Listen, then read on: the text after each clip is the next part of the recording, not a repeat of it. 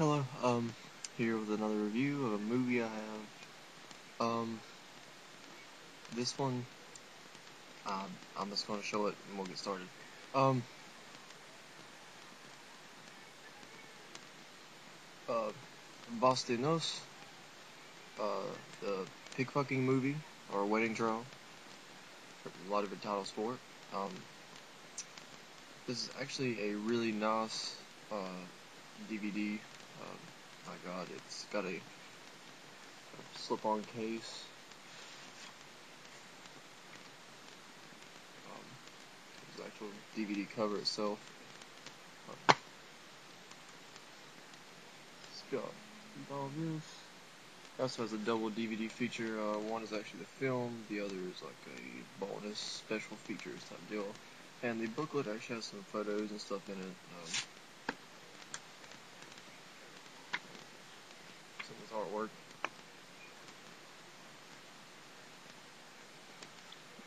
Oh, excuse me. Um, yeah, it's pretty interesting. It's all in German, but so I don't understand. I can't read any of it, but whatever. It's interesting. Pretty nice DVD edition. Anyway, um, on to the movie. Um, I don't know where to start really. Um, the movie itself is extremely bleak. It's very desolate feeling. It's very dark. Um, honestly, it's almost like Jack Nance's weirdo brother who lived in the country. You can almost perceive as that. It's it's very, like I said, it's very desolate feeling. The entire film is.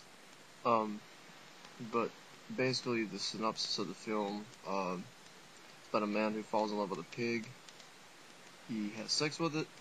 They have piglets, and uh, he ends up killing the piglets because the piglets choose, or the piglets choose their mother, which is the sow he had sex with, over him. So he loses his mind and the mother pig gets very upset when she finds the hanging piglets, so she runs away. She falls in this mud pit thing, he finds her, and then completely loses his mind.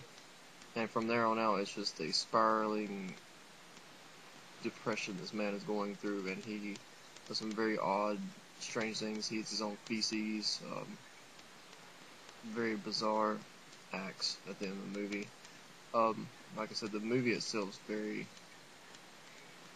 it's just kind of sad almost in a sense. Uh, you feel bad for the character in a way because it's almost like he's the last man on earth or something.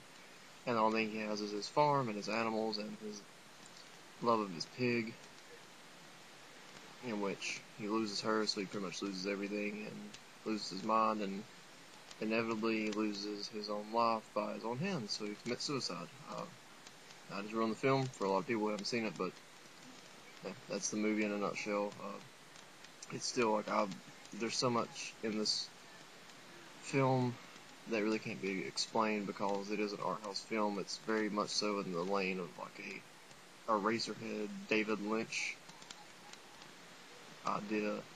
So, of course, you know, those films you just have to see and just make your own opinion of what you think about it. Um, like I said, I actually really enjoyed the film, um, and I'm not really, really big on art house films, but I actually really enjoyed this film.